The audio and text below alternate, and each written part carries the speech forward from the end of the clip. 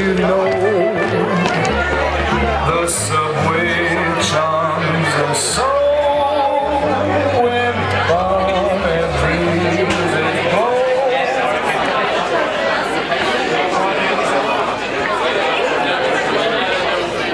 Once again, we need everybody inside the reception area, please, and sit down, please. Thank you.